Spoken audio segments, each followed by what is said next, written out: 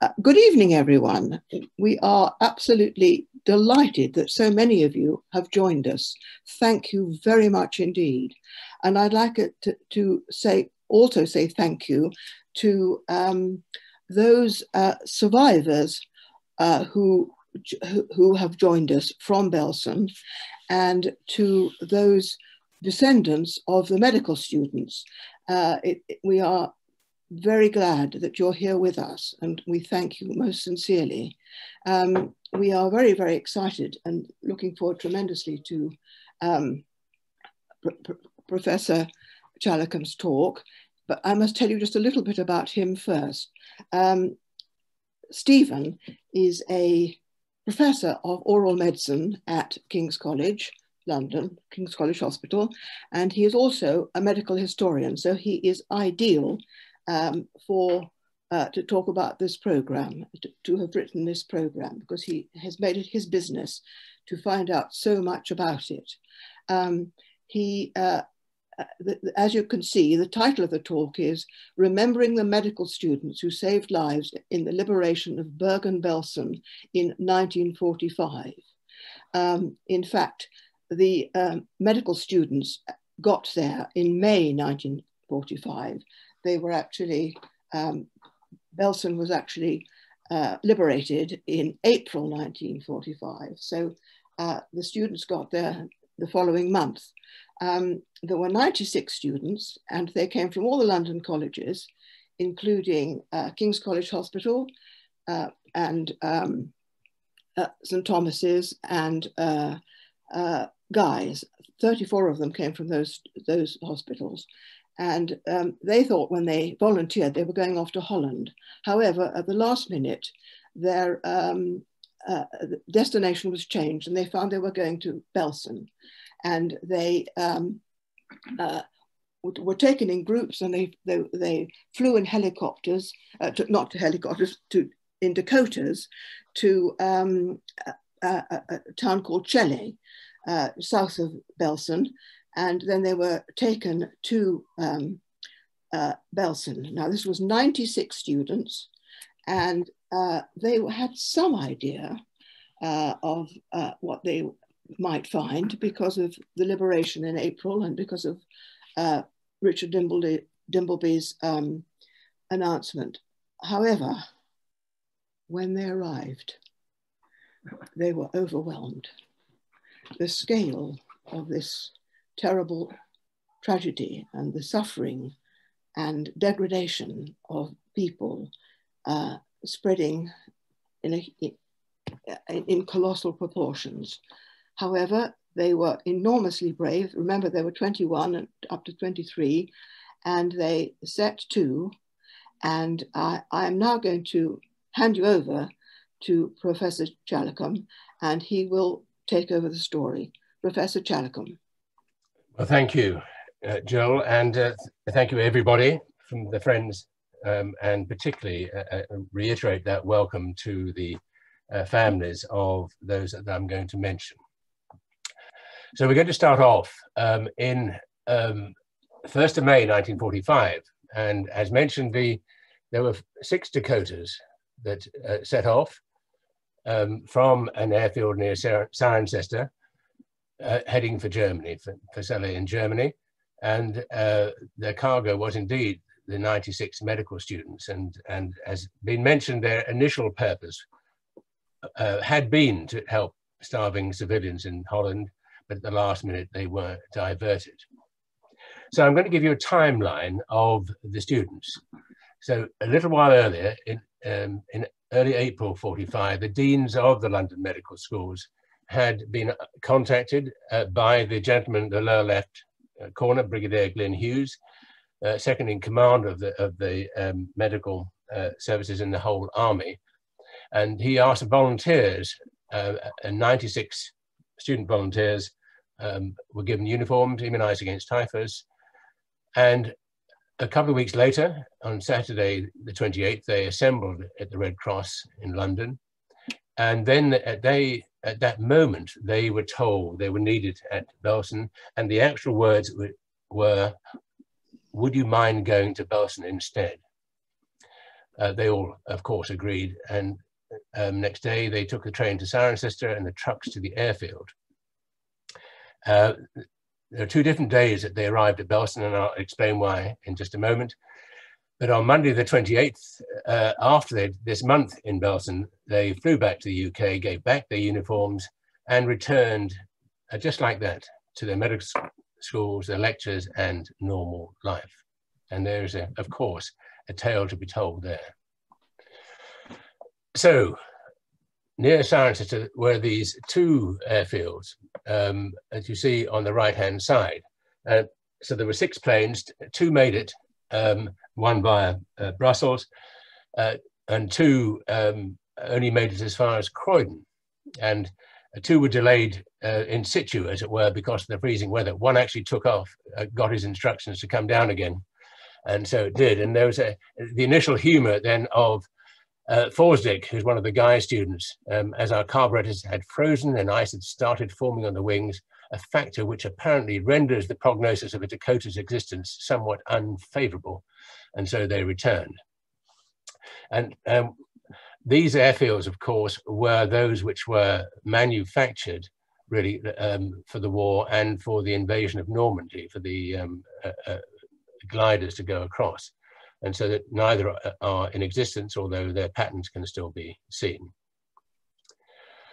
So there were nine medical schools who contributed, um, and they're listed here, the Guy's, St. Thomas's and King's, which is I'm associated with now through King's College, London. And, and then the, the Westminster Mary's, the London, Barts, University College and Middlesex Hospital. And there are three, um, St. George's, Charing Cross and Royal Free, who did not contribute students and there may be a question to be asked uh, by the audience uh, um, about that. And on the right-hand side, you can see they were given the rank of, of sergeant, all of them. I think they'd hoped actually to be second lieutenants, but they were given the rank of sergeants and certificates and, and uh, um, were fully supported at this stage so they arrived in Ensel, um, and here is the picture of the 96. Actually, I, have counted this many times and I can only make it 95 or even 94, but, but this is the, that's because two were ill when the picture was taken. Right? Um, and the uh, Brigadier, uh, Glyn Hughes, is, is sitting there uh, in the middle, an amazing person as you'll hear um, and it was his initiative. So this is actually the, picture, the, the only picture of all the students together. And then here's one of the Guy students on the steps of uh, the many Guys people would recognize as the uh, medical school, now known as the Hodgkin building. And uh, here they are actually, in a way, looking older, don't you think, than uh, being sort of 21 as they were roughly at that time. They were all actually third year medical stu students. The course during the war was shortened to four years. Um, and these were third year medical students. So they were really relatively inexperienced. And that's because the, they didn't, uh, the deans were unwilling uh, to really let the final year students who were about to take their final exams go. Um, and I do have pictures here, uh, um, and um, the Kenny family and the Mead family have, kindly lent me some more information that I'll mention. Um, and uh, there's a story to be told by me, uh, of many figures that you see, uh, not least here Jim Gowans on the right-hand side, who became director of the MRC. Um, and perhaps, again, somebody would, would, would might um, share that at the, in questions at the end. And St. Thomas's, um, uh, there's also, here they are, the uh, 11 or 10 of, of St. Thomas's. Um, and uh, John Reynolds there is actually the father of one of the staff now at, who works at Guy's and King's College. Um, and and uh, A.J. Cook, uh, A. A. Cook there became um, head of the Army Medical Services himself and enlisted later on. So there's a, we've been learning a lot about what happened to the students afterwards. Um, uh, and so we have their their names, their, um, and they've all done great things in their own lives. Um, Alexander Paton became a dean. Um, that's sometimes regarded as going to the dark side. uh, but he was a very fine dean and he also sub-editor of the BMJ. And so we have quite a lot of information from him. So, so Celle, uh, is, is, they're really right in the middle of, uh, of, of, Germany. Um, and if you look on the right-hand side here, you can see that it's really um, Bergen uh, was just a few miles north of Celle, of Celle, and the south of Hamburg, um, really east um, of uh, Bremen and, and north of Hanover. Um, and that was where the airport was. And so the students arrived there on those two days and then went off to the camp at Bergen. So Bergen itself, Bergen-Belsen, um, was the first concentration camp to be liberated. Uh, it had it was only uh, in operation really for five years, uh, uh really initially by the German army and then the SS. Uh, I put in red there where things went really downhill, uh, and that was the commandant Joseph Kramer, who came from Bel from Auschwitz um, and was really responsible for the conditions himself there. It, it, the camp was built to hold about 5,000 people. And as you see, there were about 45,000 people interned in that. Um, they were a variety, a huge variety of, of nationalities. And about 45% actually were non-Jewish, 55% Jewish and about 45% not. And it was estimated uh, overall, while this camp was in existence, at least 50,000 uh, were uh, killed. Um, and and Anne Frank was one of the inmates who, who perished there. So I want to say a little bit about um, what happened when Belsen um, was liberated, and that is before the medical students arrived. So it was roughly soon after midday on April the 15th, 1945, that it was liberated. They technically came across the camp incidentally um, uh, by uh, two Germans from the camp uh, um, finding their way under a white flag to the British lines and trying to establish a truce because of the, of the camp, which the British um, acceded to. Uh, they uh, felt at the time that, that it might have been a, a, moment of altruism on the part of the Germans, but it, it, turned not to be so at all. It was because they knew that the camp was riddled with typhus and they didn't want it being established in the local population. Um, uh, uh of German, of, uh, local German population. And at that point, of course, the point of liberation of Belsen, the war was continuing to the east. And that, that did have an impact. And, and that meant that the British army or the Allied army could not divert huge resources at this moment to uh, Belsen. And that's why the, the uh, work of the medical, medical students was even more valued. Um, so uh, Belsen was uh, receiving um, more and more personnel from Auschwitz and, and other camps as the, the, Russians came in from the east. But when the British arrived and the Allies arrived there, there was still a total of 86 SS staff, including 28 women guards uh, present, but a lot, that is over 200 already left and, uh, and capos of about 350. So it was bereft of anybody to look after the, the inmates at that time. Uh, and it, uh, uh as uh, Jill alluded to, it was uh, an absolute disaster. When the army arrived, their first task was to bury 10,000 bodies just lying throughout the camp. 10,000, huge numbers. Uh, the second major task was to begin to save as many of the remaining 43,000 still alive um, in a, a, situation when disease was rife. And those diseases included cholera, typhus, a lot of TB, much more than they thought initially, malnutrition, sores, gangrene, diarrhea, and so on. Um, but in addition to those um, numbers of SS, the Germans had left behind a, um, some uh, Hungarian soldiers whose job uh, was to help, um, somewhat reluctantly, to, to help the Allied uh, look after the, the um, inmates. And this is taken from a, a, British Army report at that time, um, and it doesn't make very easy reading. And perhaps I should just put a health warning for some of the pictures you see at the, at below there. But it was a dense mass of emaciated, apathetic scarecrows.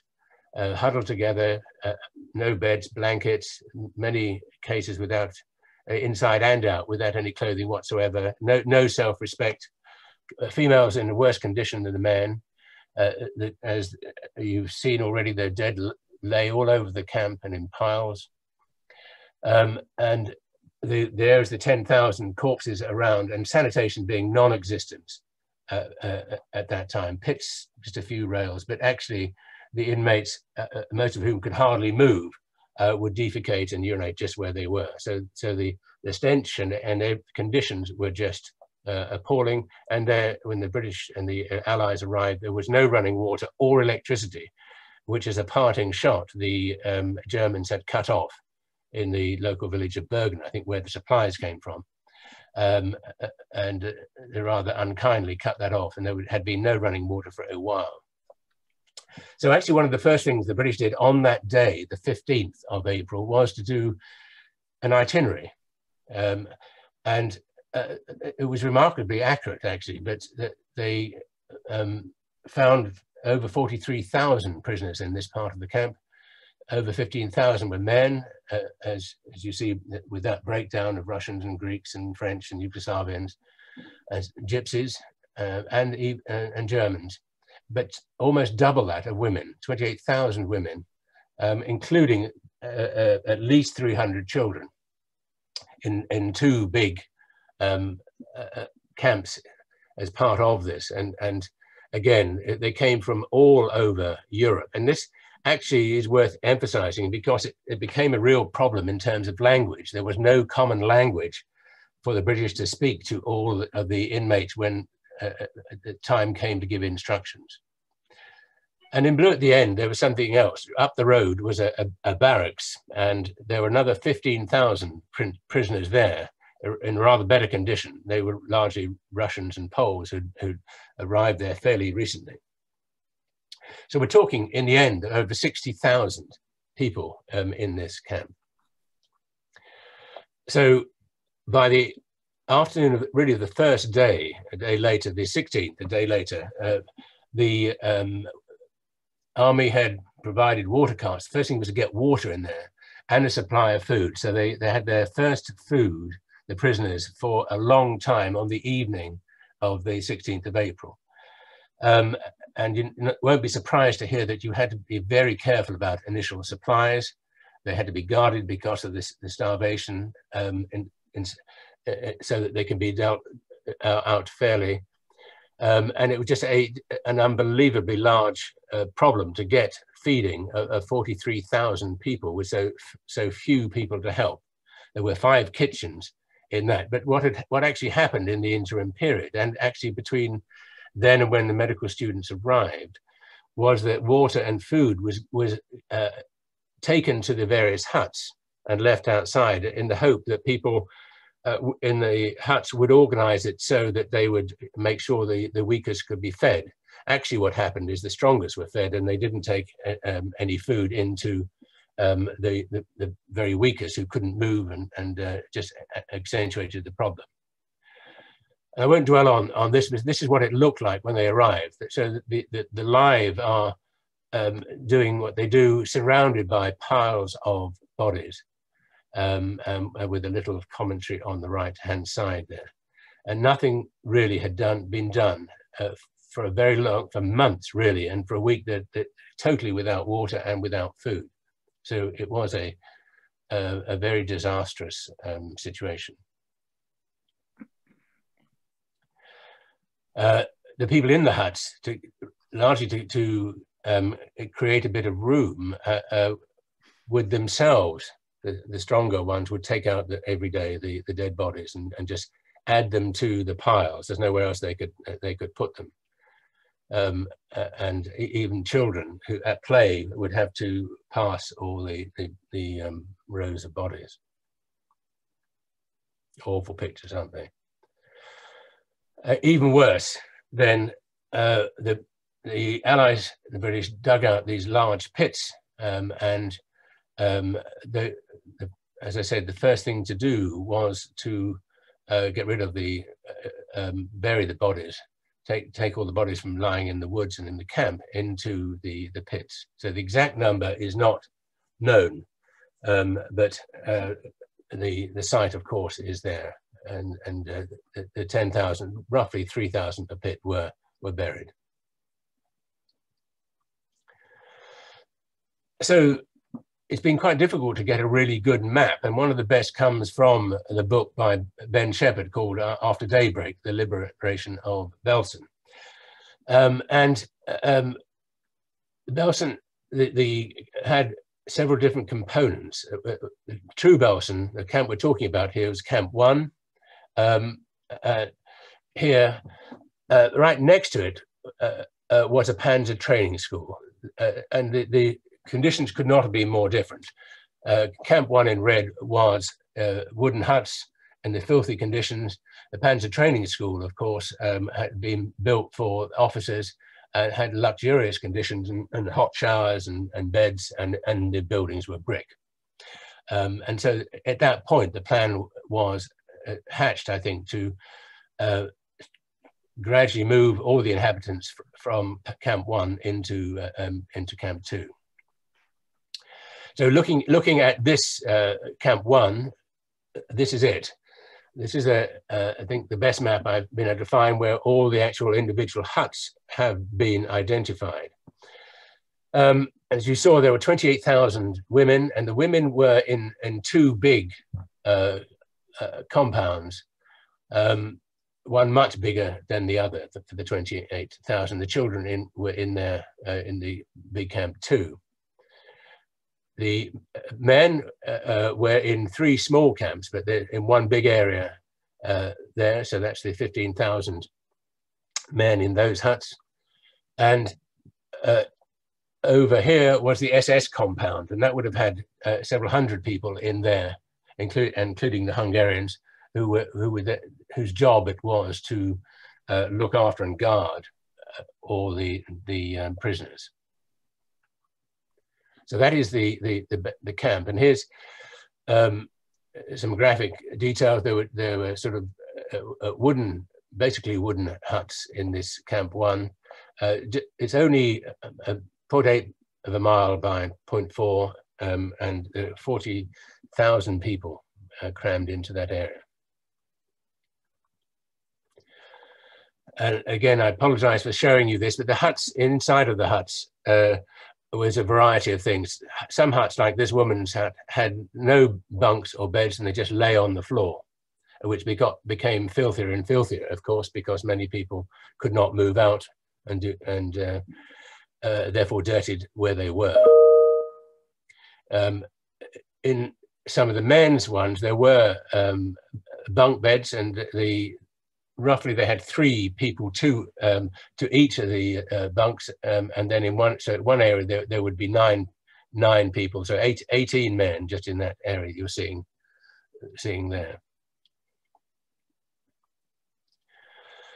The key medical figures, uh, uh, Brigadier Hugh Glyn Hughes, that's a wonderful Welsh name, isn't it?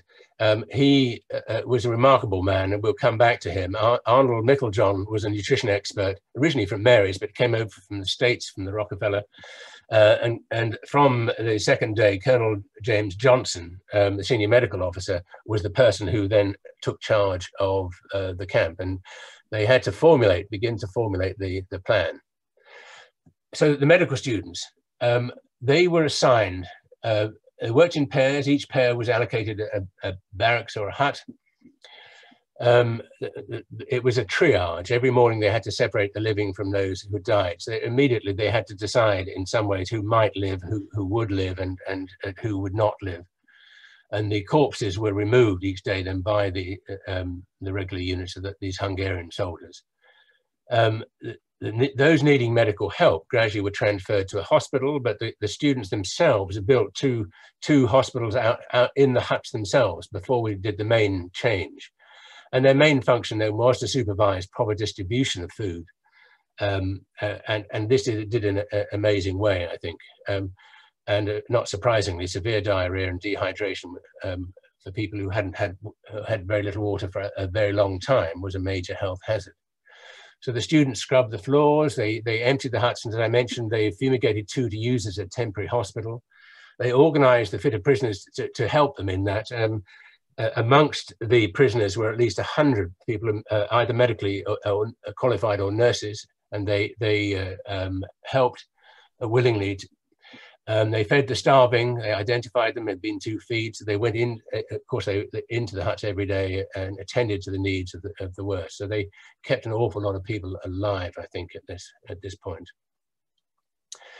Um, and it, one must just recognize that there were some amazing people. So um, Dr. Bimko and Dr. Ruth Gutman um, here, uh, I think actually Dr. Bimko was actually a dentist, but she um, they they were uh, I think fantastic in in giving help to the students, and they they organised uh, one of these medical huts, if I can call them that, with, with areas of, of, of, typhus and and uh, uh and, and, TB um, in a, in a very organised and clean way.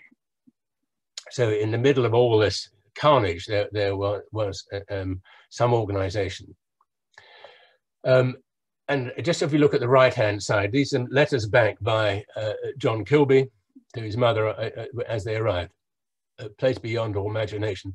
So this first part um, is really depressing. It originated for death by starvation, and, and the, as I said, that their first job is to find those um, and the dead and had them removed.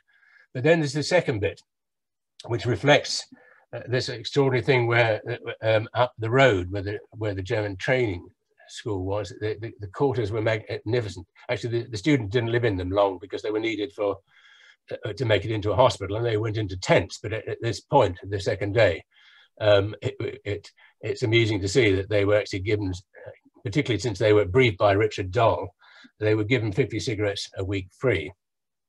M more sobering is this one by Michael Davies, uh, also a guy, guy student, um, seen at the bottom there um, as a student and then later as a professional.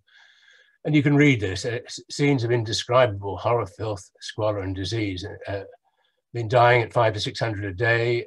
In, the, he's had alone 300 patients um, uh, uh, and then only a few able to, to, to be fit. Um, I'm very tired. We work a very hard 12 hour day. Uh, and then this uh, cry, the scenes I've seen here will be vivid memories for the rest of my life. And I think that's something to come back to, particularly in questions about the effect that this had on the, the students. And here's in hut 213, and, and I've been able to identify these individual huts because of that map. Alan McCausland, um, and who, whose daughter also did a thesis on, on Belsen, uh, their hut had a, over a thousand inmates and uh, Ian Wimster, uh, who was uh, his pair, going around issuing cigarettes and the sweet to the walking. Um, uh, and so few were fit, uh, um, they thought, at 20 out of a 1,000. Um, and so you, you, can imagine the, the, the, scenes that they, they, they dealt with. I've been able to extract from the uh, British Army records, uh, I think, were, were um, and records were, were, amazing. And I've been able to extract the, the, the death toll uh, per day. And um, the, you can see that the average, you know, almost 800 a day beforehand, um, this is when it's first liberated, uh, to May the 1st when the students arrived and the, and the gradual improvement to, to virtually nothing. Uh, they arrived on this day to work, so so it, it, would be perhaps not able to attribute all of this great drop to them, but I think the continuation uh, was, and it, it is noteworthy that over 10,000 deaths took place um, in the first few days after liberation. Pardon me, and one must ask why that should be so. So this is an important figure when we're talking about their contribution to saving lives. So a plan was hatched. The plan was to move uh, all the patients from uh, uh, uh, and prisoners from Camp One into and construct a hospital. So the analogy with the current day of the Nightingales is uh, I shall um, uh, mention that the Camp Camp One was going to be destroyed um, and, and fumigated and, and destroyed, and the hospital for those who, who needed was going to be constructed in, in this Camp 2. Excuse me. So the strategy was the evacuation. The inmates were called out, uh, and, they, and I'm going to tell you about the, the human laundry. Transported to Camp 2, the brick camp, seen here on the right. And amazingly, 7,000 beds were constructed within one week and clothing and foot, footwear found. And so by the 18th of May, the evacuation of the camp was completed. Pardon me. Excuse me one moment. And no, and no less than 14,000 patients were admitted to hospital. Now, if you think that Guy's and St Thomas's each have 800 beds, you can see um, that this is what, uh, at that point the biggest hospital in Europe. Uh, so it was a magnificent feat that they managed to do that. They, they, all the patients, uh, prisoners went through the, pardon, pardon me, went through the human laundry. And it was no old stable and they were deloused they had to go there with, with leaving no clothing at all in their previous hut. Come here, uh, washed down by, by German nurses and doctors. And again, there's a little thing here that 32 of the 48 nurses, German nurses, caught typhus. And there's a little story there if, if, if people would like to ask more about it. Um, they were scrubbed down in the, uh, the laundry. Uh, showered, and then every um, inmate was given uh, clean clothes, which they'd derived from the local population. Uh, they must have used tons of DDT in this uh, episode because uh, the students were actually sprayed with DDT morning and evening. Uh, and here, a woman inmate, is, by one of the um, prisoner nurses uh, is being given DDT.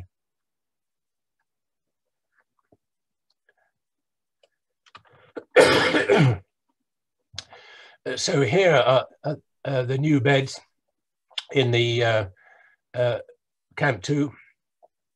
And then the old German barracks, it's the officers' quarters, was turned into a uh, part of this hospital. So there's a big transition two weeks in then when all these beds are constructed, those who are fit enough can actually leave the camp, went to camp three actually, and, and uh, as a transit camp can, but those who, couldn't were eh, um, put into beds in the hospital.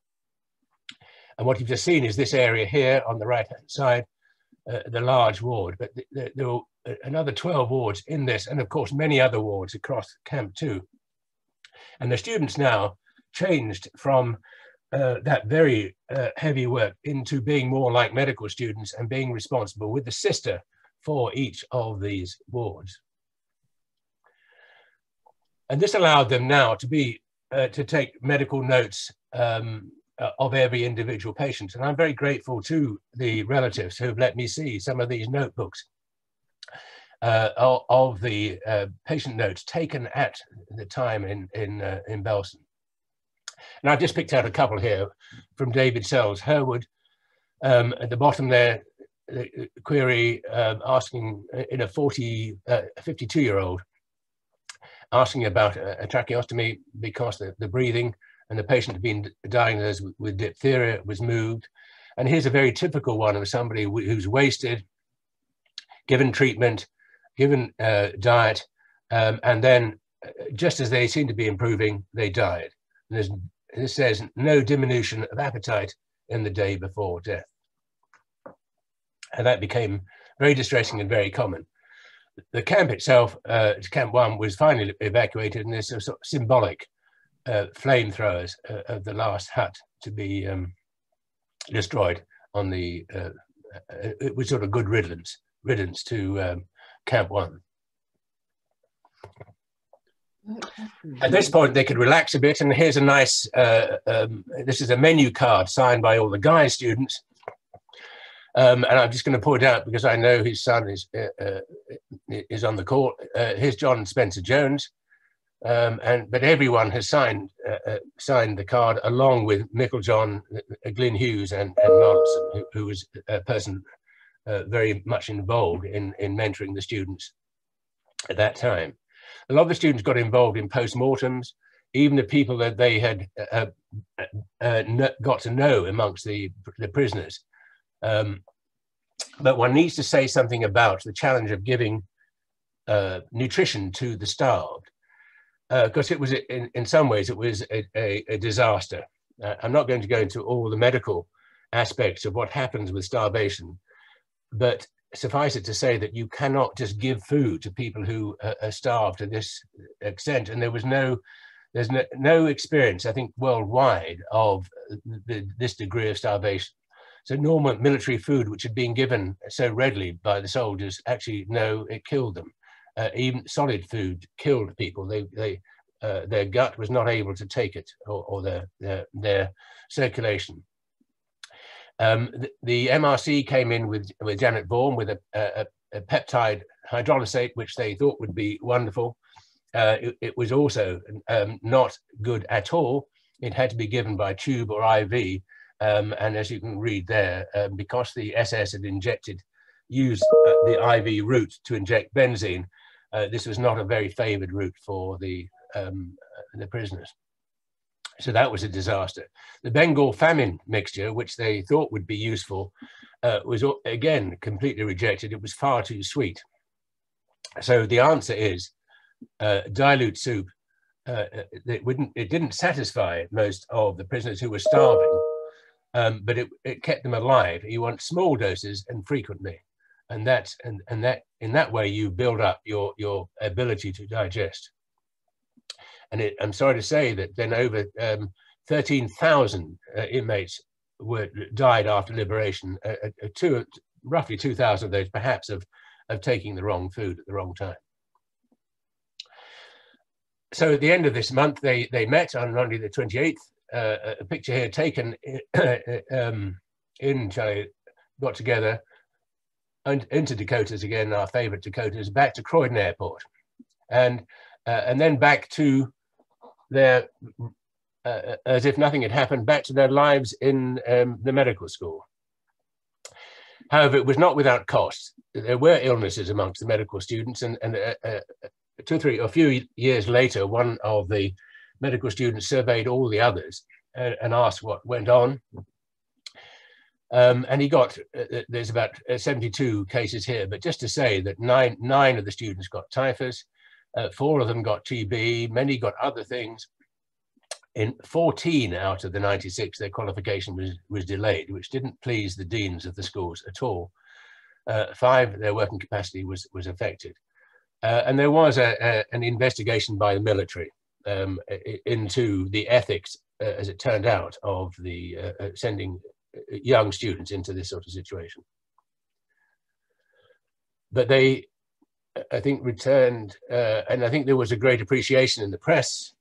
Uh, Montgomery himself uh, uh, uh, um, and and the press actually recognised their their um, contribution. So these are cuttings from the papers at the time, um, and and a, wonderful letter from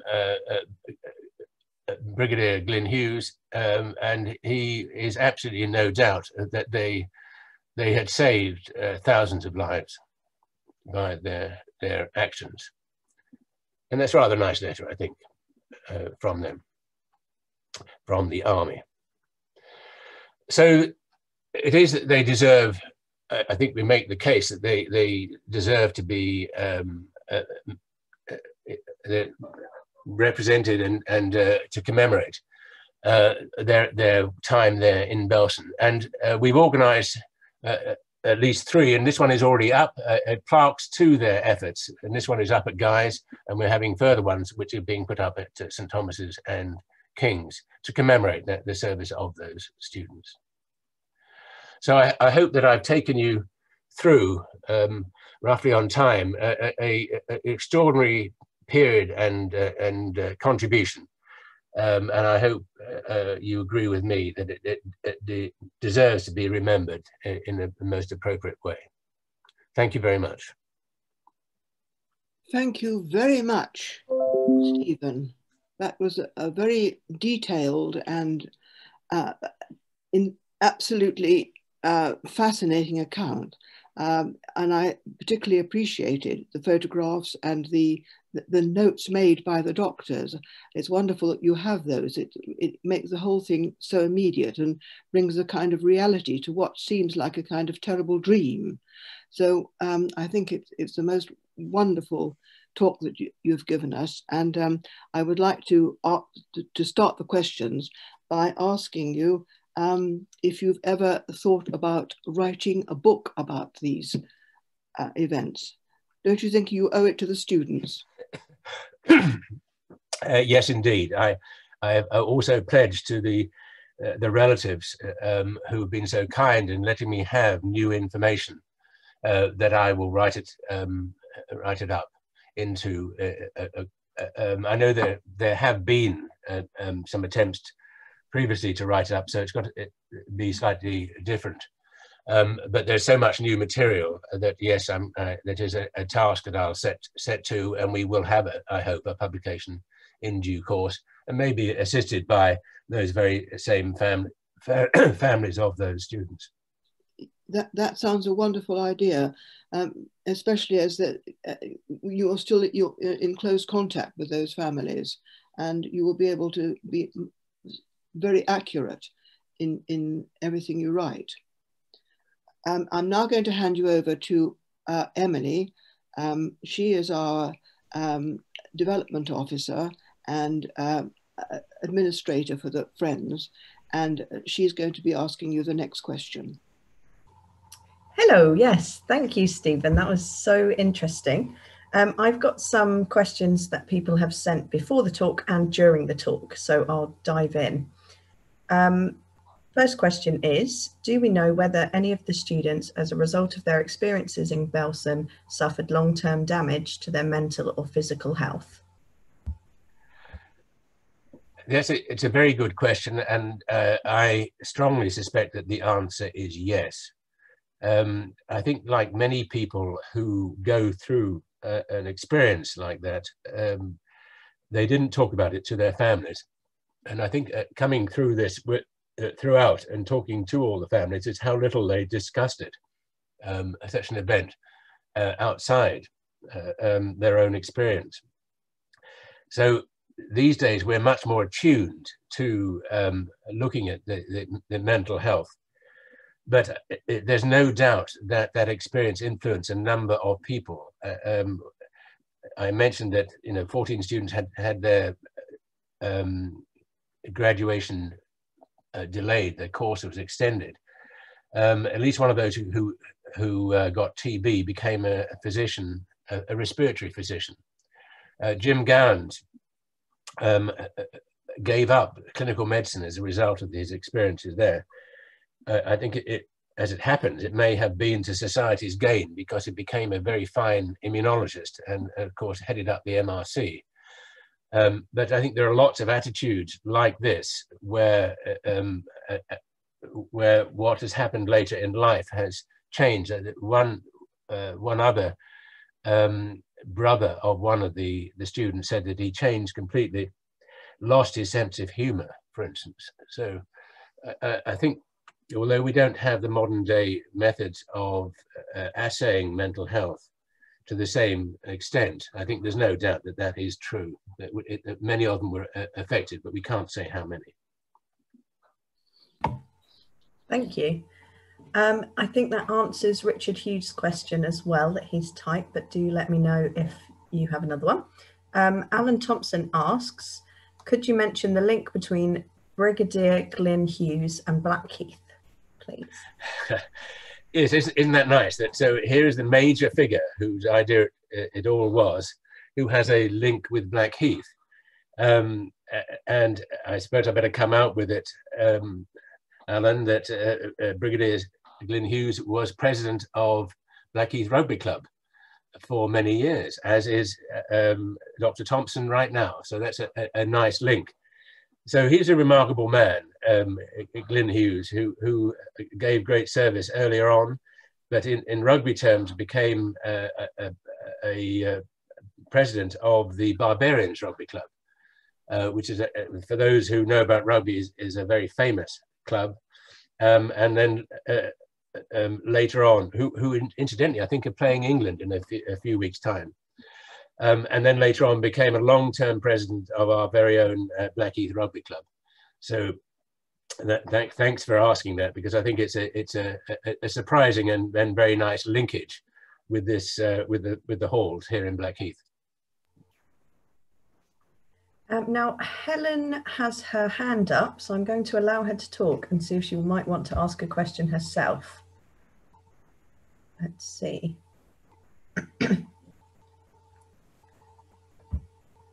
You're muted at the moment, Helen. If you press your spacebar. Yeah. Yeah. Go ahead, Helen. We can hear. Well, uh, I just uh, I just want to say that how grateful I am to Professor Challacombe for this. I mean, I, I, I honestly don't know how to describe my feelings at the moment. I am a Holocaust survivor myself, but not not from Belsen, but from Łódź, L-O-D-Z, um, where I had five years of hell. I just, I just can't have enough words to say thank you for this most wonderful, wonderful program. Thank you very much. And it really means, means so much for people like me who are survivors. And I, although I, I, I try to do my share by speaking to various schools and organizations for which I received the BEM from our beautiful queen. But I feel that this, that World War II and the Holocaust must be remembered and program like this should be shown to a lot of people because there are people still who do not believe that this has ever happened. Thank you very much. Helen, thank you so much for those words. That alone has made it worthwhile giving this talk this evening.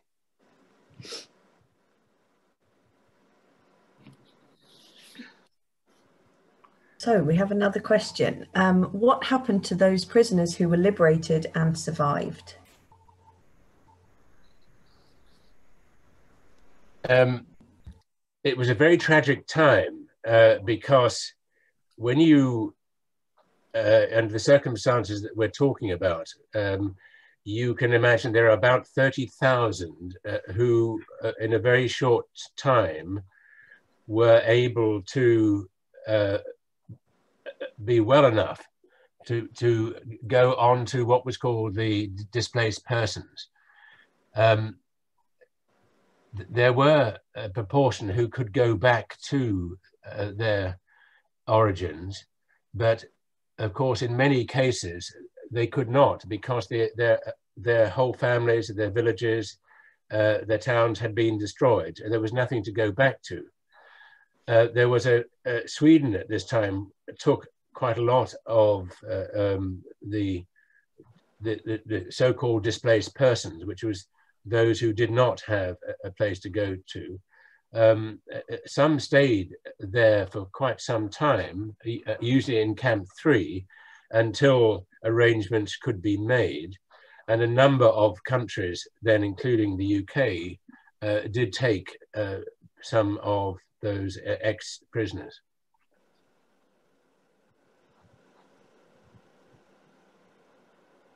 Thank you. And Caroline asks, how did the supply chain work? How did they obtain 7,000 beds? yes, that's a very good question. I think um, there's a an interesting perspective with uh, with regard to the local population. The local population, if I can take that in two parts, there's a, a food supply chain um, and there's a material supply chain. I think the local population were in denial. Um, they were well fed, um, uh, and the children in particular well fed, and there was lots of food around. And I think the the army was able to find various food stores um, around and uh, start to get uh, animals, pigs, uh, food, wheat um, into the the camp.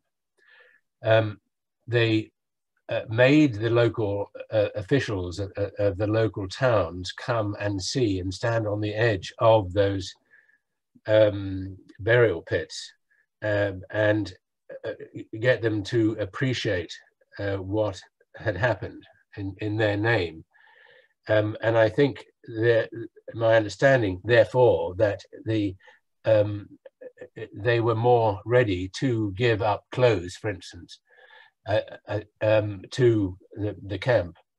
I think with regard to the beds, that's a, a slight mystery to me. Uh, um, uh, the um, uh, they went out and, and got everything that moved, all, all wood. Um, they found um, various forestry places. They made they made them. They got them. Um, but the the, the researchers don't actually tell me in detail how he managed um, to to be so successful to get 7,000 beds in in uh, one week. And the army had quite a lot. Of course, in the second week, the the um, when uh, on May the 8th, the surrender came. Uh, the the army were able to to allocate more resources, and you saw that they, they allocated 3,000 men then to help build, and they went out to the job. So they they actually searched the, the local uh, area for some, some um, distance uh, to be able to get those beds. And I suspect that some of those beds came from individual homes too, but some of them became army beds. So they did 7,000 the first week and se uh, another 7,000 the sec second week. It's, it's uh, quite remarkable. So Dr. Winterbottom uh, from Mary's, uh, I think deserves great tribute for that too it's, it's, sort of analogy with the current situation, isn't it? When we we got the Nightingale beds and and we're building hospitals, but I think it puts it in perspective when you when you think that this was achieved so quickly uh, and and um, uh, and actually with such effect, uh, with seven thousand beds a week, amazing. Um, the next question is, when did the last student retire from the medical profession and are any still alive? Um, yes, I, uh, there were 96, of course, and I, I, I've been trying to follow that. The, the last student, uh, uh to my knowledge, was Jim Gowans. I think he was 96 and he died this year, earlier this year. Um, I tried to go and see him, but um, unfortunately COVID uh, um, and, and perhaps medical conditions mitigated against that. So he was the last, I think, uh, uh, alive. Uh, it's, it's delightful that we have um, the families here who who can take this on to another uh, generation and, and actually contribute. Um, I, I, I, hope to what we're going to write up in in uh, due course. Um, so I the I have used the BMJ obituaries quite a lot to actually try and answer your your first question um, some two of the students died quite early. One of one of uh, or quite early in their fifties, fifty-one, um, through uh, one through hepatitis, um, um and uh, I think uh, maybe both from disease. So they they died quite early. Um, but many went on to have a very flourishing career uh, uh, um, throughout, and and one of the things that we've been investigating is actually their contributions of these students to society afterwards.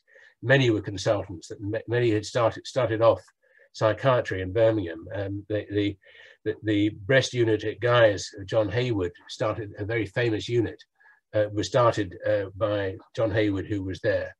Um, so uh, uh, Gowans, I mentioned as, as, heading up the MRC, the, the, I think a high proportion of these students became consultants and so they have made uh, major contributions in their uh, uh, own right. But they, I think, I don't get the impression from reading the, those obituaries that they that they either went on longer or shorter than than we would expect from you know that cohort generally. Thank you. And what do you think of the ethics of encouraging 21 year old medical students to volunteer to help civilians in Holland and then be diverted to Belsen? Yes, I, have I've thought about this, and and so did the army.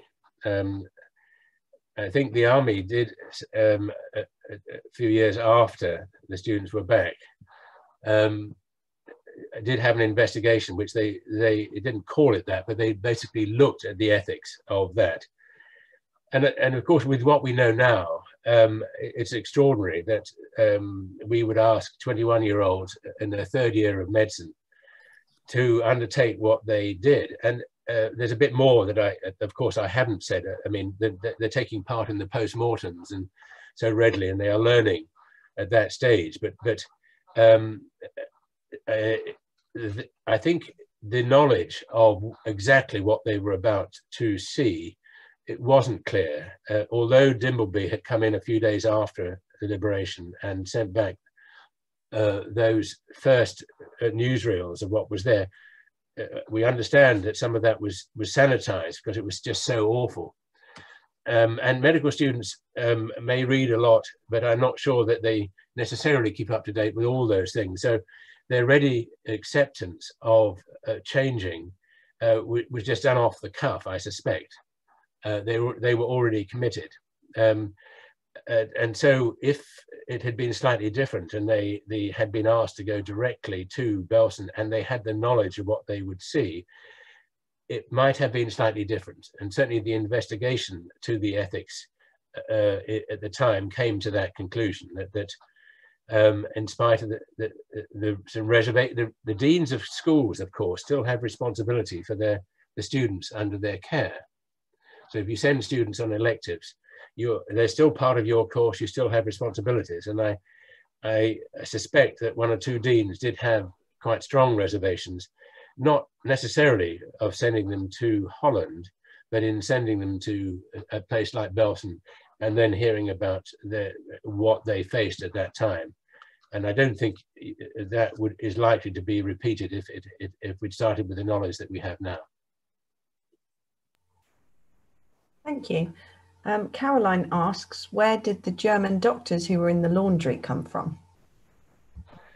Yes, the the um, thank you. The there were two the uh, aspects of that. There were uh, German doctors, which they they got from the German army, who'd been defeated and given up uh, um, locally, um, very quickly, but in that second week, they uh, from May the 8th. So they brought in lo local German doctors and they got some from the army, uh, from the German army, and the same thing with nurses. And the, there's an interesting thing uh, with them both, uh, but particularly with the nurses, uh, in that initially they were very reluctant to get involved. Uh, I think as they arrived um, at Belsen, they, they hadn't been I think, prepared for what they, they saw either. Um, but I think the reports are that once they realized that they actually uh, worked extremely hard um, uh, and had no reluctance at all to get involved, but the, the cost to them was that I think 32 of them, the 48, got, got uh, typhus because they're dealing, they're scrubbing down people with typhus they, the British had, had been told that they'd all been immunized against typhus by the Germans, and this turned out not to be true. And so their susceptibility, I think, uh, then was because they were handling people with typhus every day. Um, and so one of those died and 32 um, got typhus.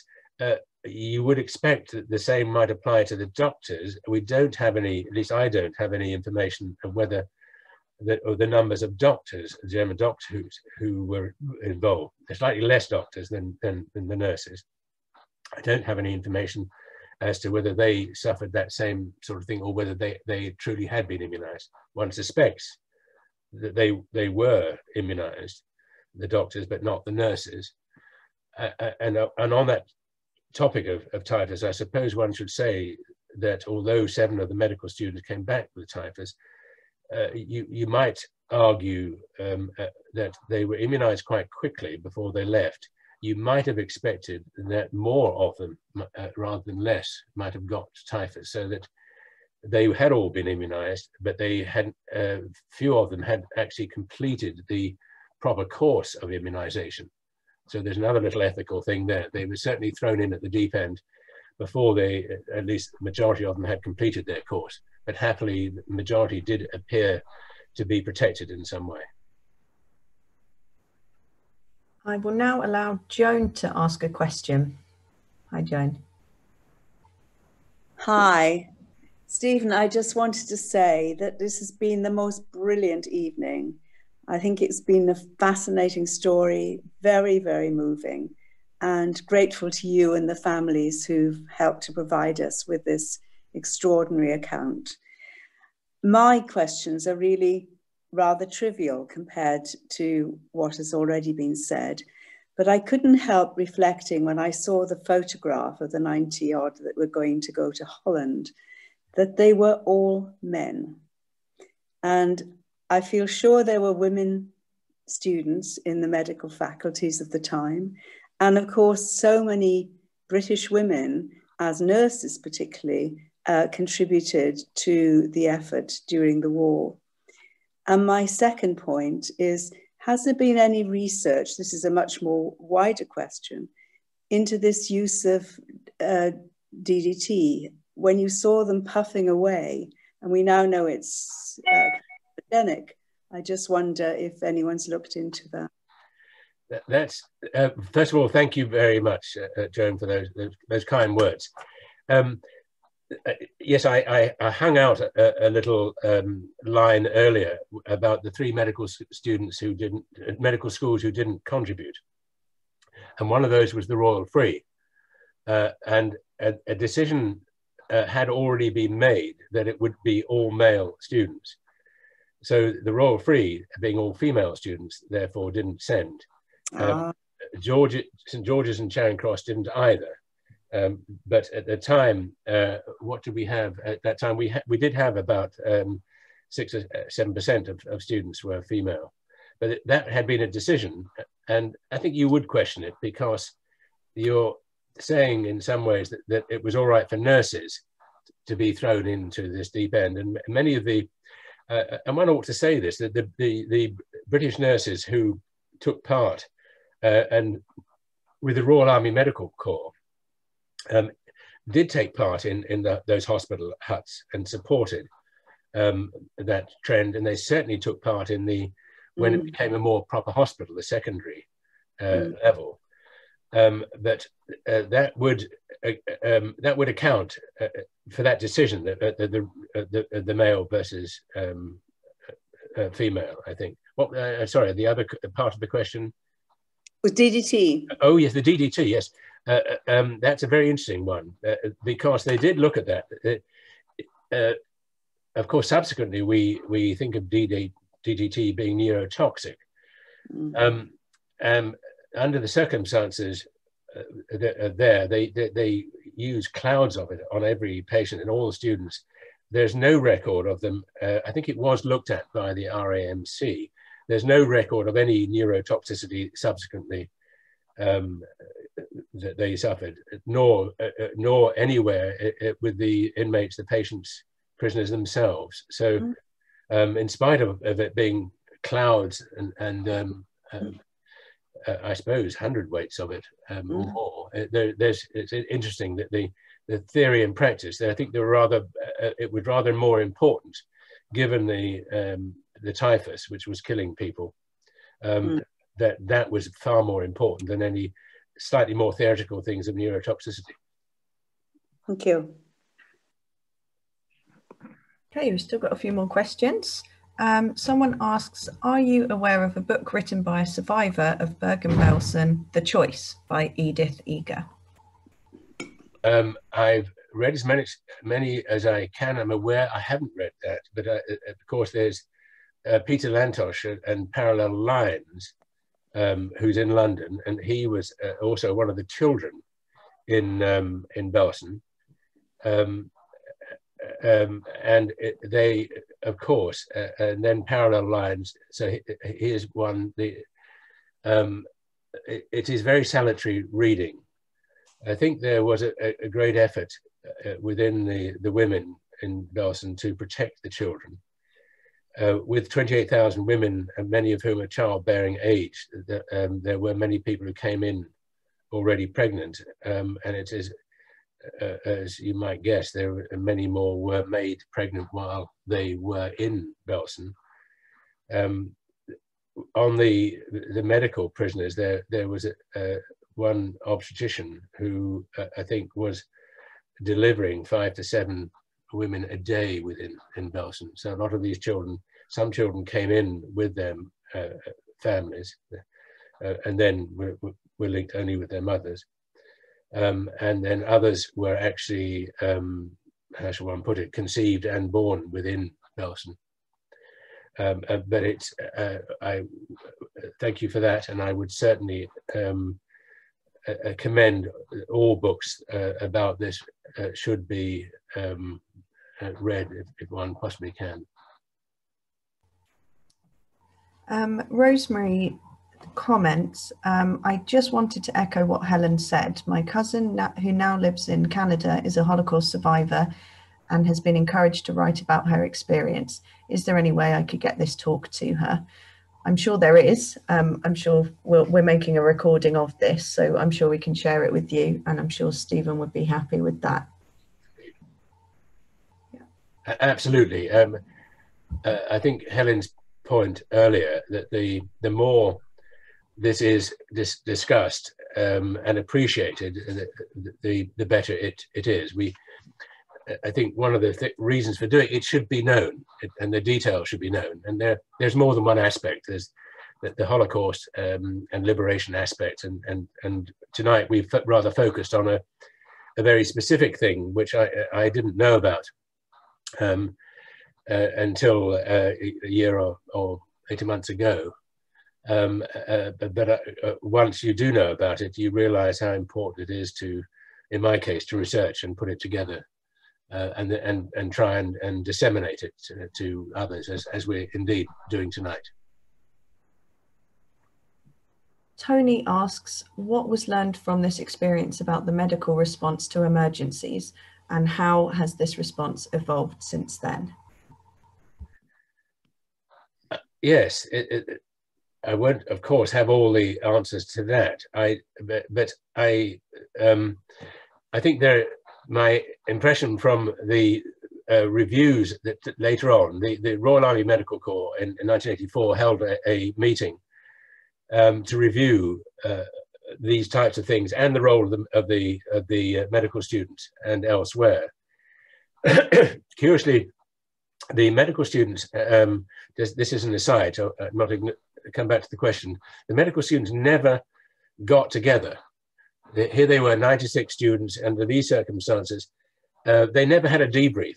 Um, they never all got together they, they may may well have done within the individual hospitals and i know the, the students at the westminster for instance were, were quite a close-knit group um, but they never met together and had a debrief which which you would never do nowadays but in this debrief they, they there are a lot of lessons to, to learn um, i think um, th there was an incredible organization uh, which went into play. So some things I thought were extremely good. And I mentioned how they did an audit, if you like, an inventory on that very first afternoon.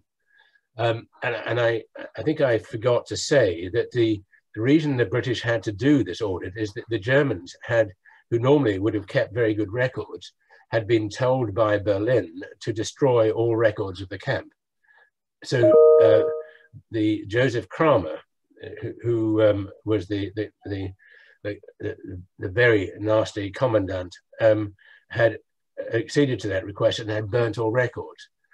So the a slide that, I showed earlier, which then showed the 43,000 and gave a breakdown of the numbers of, of, of Poles or Czechs or whatever, uh, that was an amazing undertaking to come up with that figure, uh, which was done by that Wednesday evening.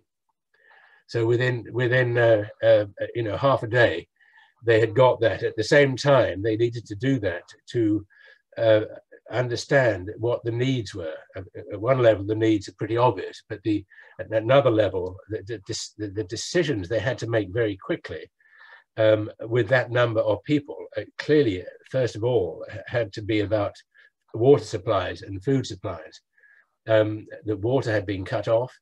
Um, the the electricity electricity had been cut off, and, it, and it, um, I might just, if I'm permitted, to say I, I learned from one person who wrote to me that he'd been a scout uh, and had been in, in uh, Belsen at a very early stage and actually had, had, had nabbed one of the battle flags, the, the SS flags over, uh, which flew over Belsen, um, which was taken back to Surrey. Um, but his story is that, that he was the person who was told to go to um, Bergen and um, uh, get the electricity on. Um, and they put Kramer into the one safe place while they went and did that, which was the cold store, because it was only uh, uh, lock, uh, unlockable from the outside, not the inside. Uh, and they went off to uh, Bergen, got the electricity supply on, got on with their work, uh, got the pumps going to get the water.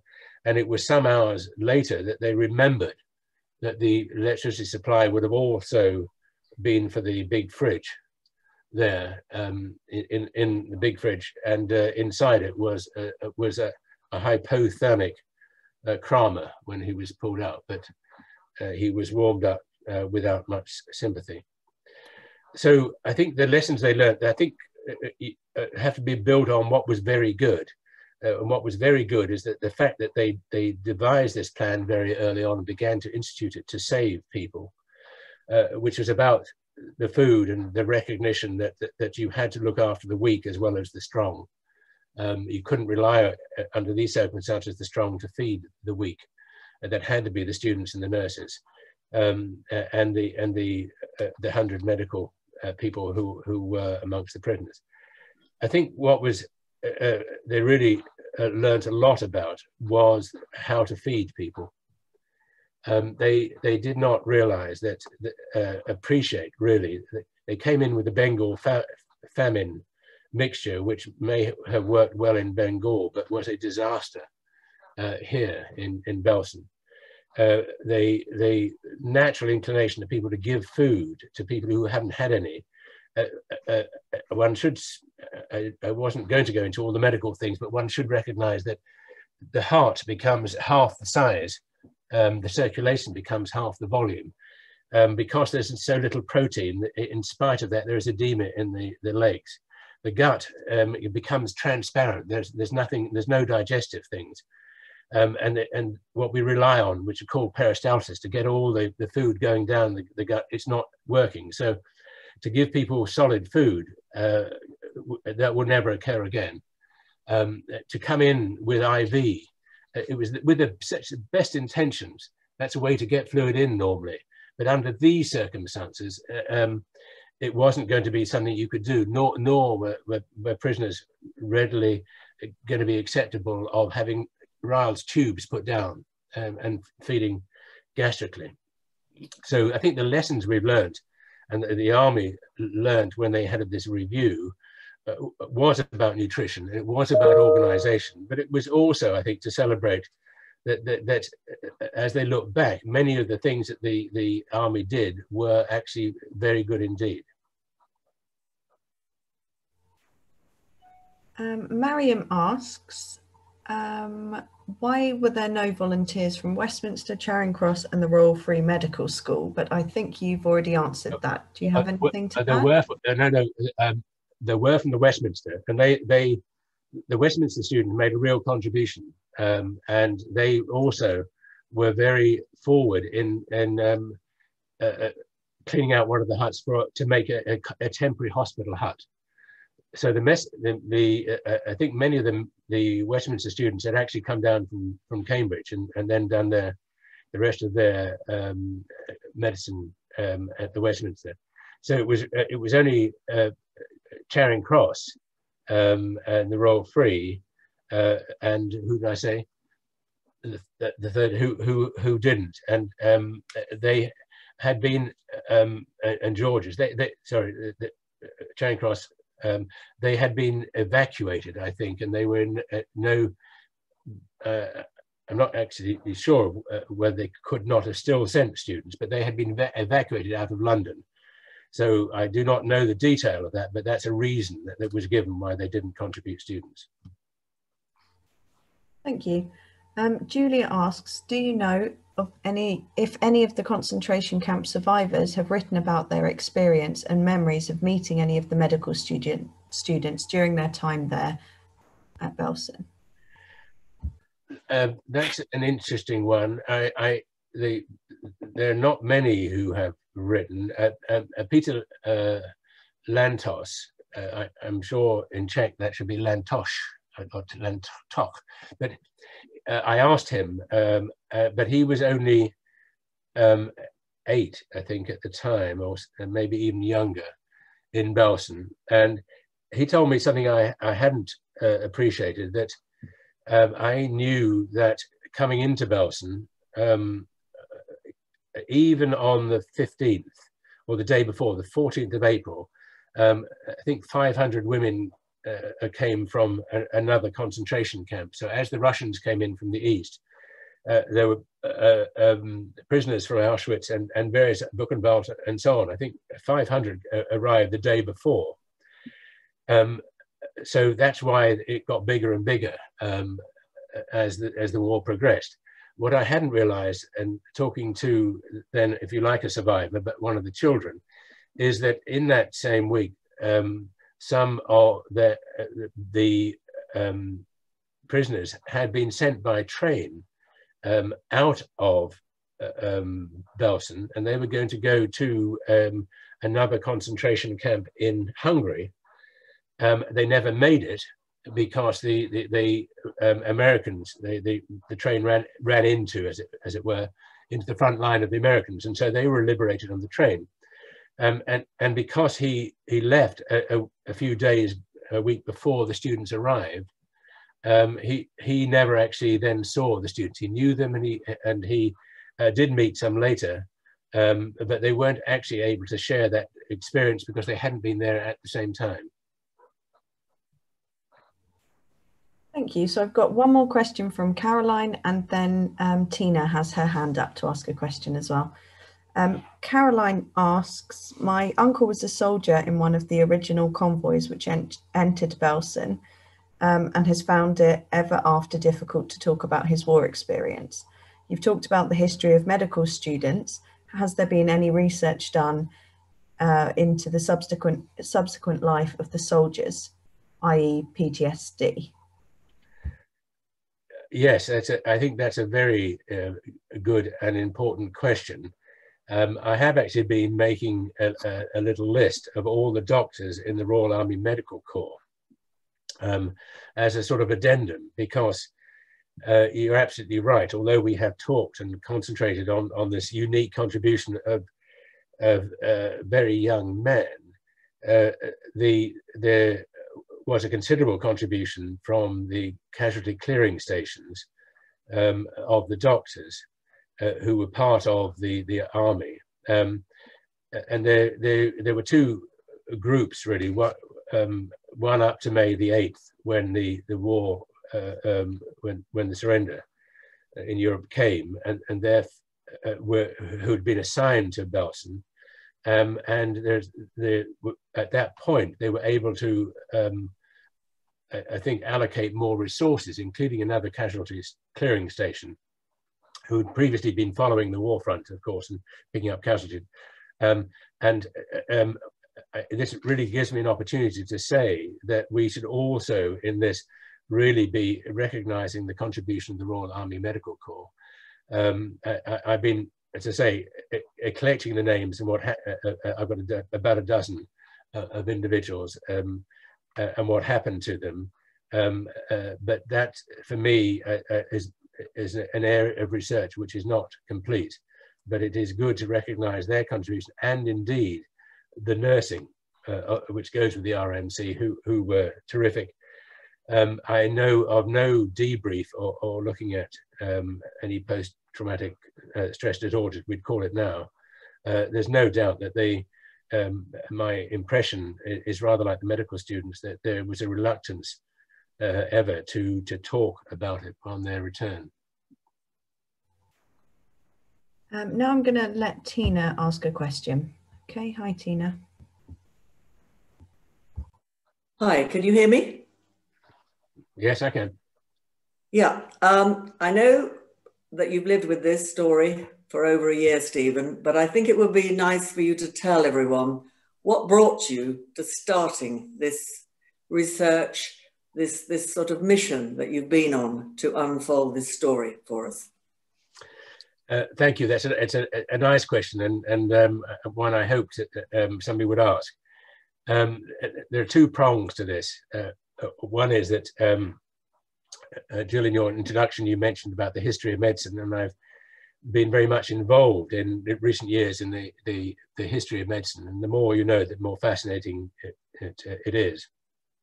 And Guy's uh, medical students, uh, medical years have an alumni, um, an, an, annual alumni reunion.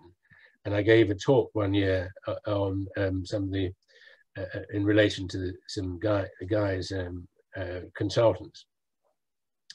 And I was approached later by Stanley Davis, um, who again I'm very pleased to acknowledge, and, and his daughter is, is married to, to um, the son of one of those um, medical students, uh, which is Kilby, John Kilby. And um, Stanley asked me whether I would be prepared to, to uh, investigate and research about this and put together a talk. And really it's, it is to Stanley Davis, who's now uh, well into his 90s, um, who then put me on this track. And, and we actually went off to the Wellcome and other places um, ourselves and looked up the, the documents. Um, and and uh, um, I, I, suspect that without his input and his enthusiasm for starting me off on this route, um, I, I wouldn't have been able to give this, this talk. Um, so just to Stanley um, and his family that I owe a lot because it's it's knowledge that I'm very pleased to have been able to, to get and to research. Uh, and I should say that it's it's the, the two big areas which, which they do have um, the, in different ways quite a lot of information. Um, one is the, the, the, Wellcome Institute, Wellcome Collection in the in Euston Road, who, have a lot of original manuscripts. And another is the Imperial War Museum, who, who have a great record um, all, all digitalized of pictures and so on, and that's great. Um, and the other is, I think, uh, uh, which I hadn't mentioned, is, is, that all medical students who went had been encouraged to write up uh, their experiences uh, um, locally. And the, almost every London medical school at that time had a gazette. So the London and Westminster and Guy's and, and King's had a, a, a gazette where uh, published uh, regularly, and these are a mine of information. There's some lovely um, tales and accounts of their time in each of those hospitals. So I think about uh, eight of the nine hospitals had gazettes, and, and uh, that's been a, a, wonderful source of information too. So, so Stanley and his family, um, uh, all those sources have, have led me to where we are today. Thank you. Um, Jill, would you do you have an, a question you'd like to ask, or uh, if anyone else would like to? Um, well, I've asked my question, and I've um, listened with gratitude to all the wonderful answers that Stephen has given. So maybe this is now the time to wind the the the, the, the talk up. So I should like to say a huge thank you to Stephen for his inspirational talk. Uh, I'm sure we will not forget this talk. And he has, he, this is a major achievement on his part. And I am so grateful to him for coming to Blackheath Halls to give this talk. And I hope very much to see more of him and hear when he has published his book on the subject. Thank you, Stephen thank you so much, Jill, and, and thank you to so many people who have uh, tuned in, if that's the right term now, who tuned in to listen uh, this evening. It's not the end of the tale, it's still the beginning. Thank you very much, Stephen, and thank you so much for hosting Jill and for the friends for putting on the event. Um, I hope you've enjoyed this free event hosted by the Friends of Blackheath Halls. If you are able to donate to Blackheath Halls, please do so via our website or contact me, Emily. Have a lovely evening. Thanks again. Bye. Bye. Bye.